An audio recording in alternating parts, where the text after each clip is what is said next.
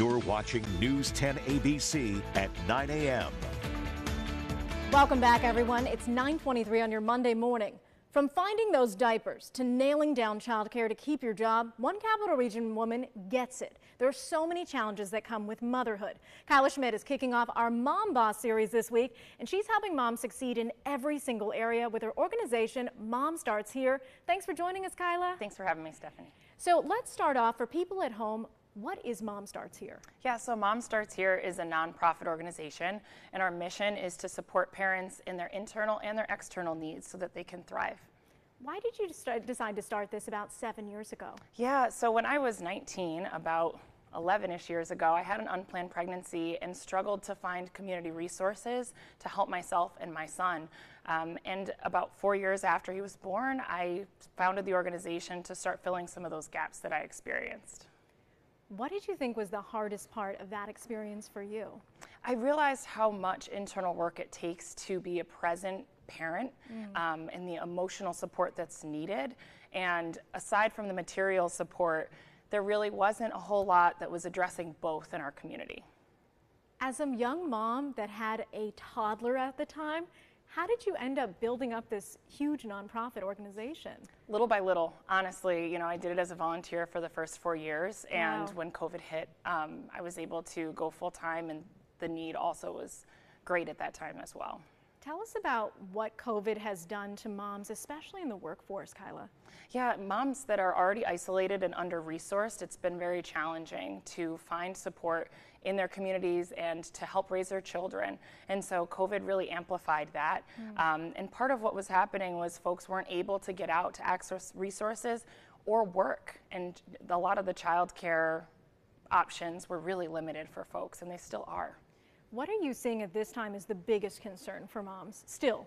Yeah, I think it's just a matter of having that community and having the village. And that's really what Mom Starts mm. Here aims to do is to be the village for folks that don't have that.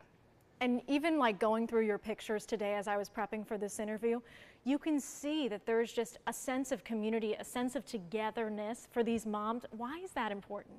It's so important because the work that it takes to parent is a daily kind right. of work, right? And so to have people that are in your corner, it makes all the difference.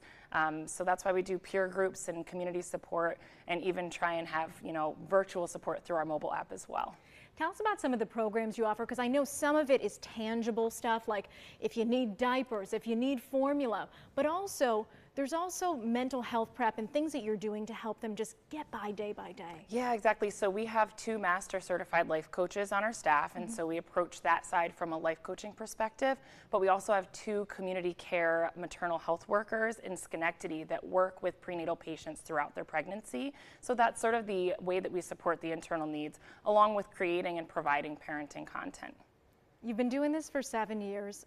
What's a story of a mom that sticks out in your mind that really just has stuck with you and shows how important this work is? Yeah, there are so many, but honestly, it's the ones where we have that opportunity. You know, we've had moms that we've had the opportunity to walk with them for years mm. and to see their development, to see them get the job and access transportation and childcare and grow and really see them show up for their children in a way that they feel proud of um, and helping them get resourced with diapers and baby items over the years. It's such an incredible privilege to have the ability to do that.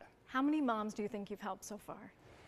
That's a tough question. I know that we served over 700 individual families last year. Um, so I would say definitely in the thousands at this point. Um, moms and, and then children would be another couple thousand, yeah. If anyone at home wants to help, it's very easy to remember this, momstartshere.com. Thank you so much for dot coming org. here today, yes. Kayla. Thank dot you. org, excuse me, momstartshere.org. Appreciate you kicking Thanks, off Stephanie. our Mom Boss series. You are definitely a mom boss, Kayla. I appreciate it. Thanks for having me.